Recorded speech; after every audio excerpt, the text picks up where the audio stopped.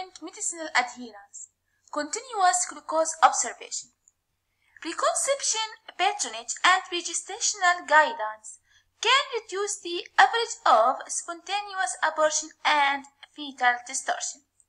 The improvement of insulin resistance through late gestation is actually a normal physiological adaptability that transfers maternal bowel metabolism process from CHO toward lipid oxidation and thins affords glucose for the developing fetus.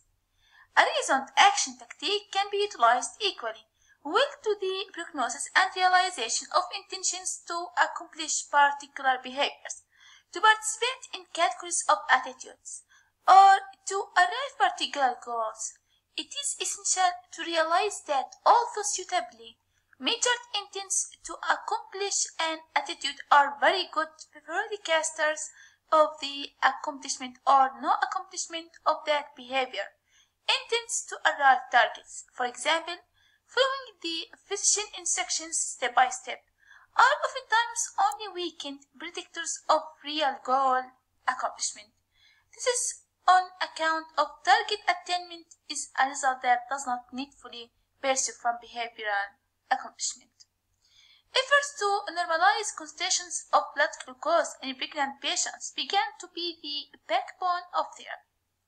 Persistent glucose observation can present preferable insights inside the glycemic side view than self-observation of blood glucose standards via the patients, but the position of this modern observation modes has it to be accomplished more obviously.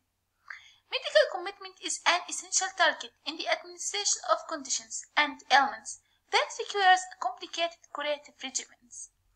However, pregnant women who have gestational diabetes mellitus are amongst the more demanding patients in expressions of medicinal commitment that health patronage teams must treat with on a daily foundation. Not only is the curative regimen complicated, but as well two patients are included, mother and baby.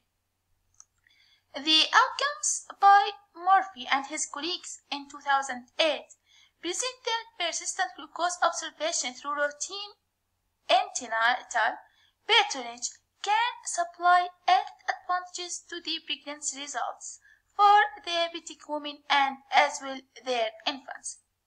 Breastfeeding Breastfeeding develops glycemic control and as well it should be promoted in women who own gestational diabetes.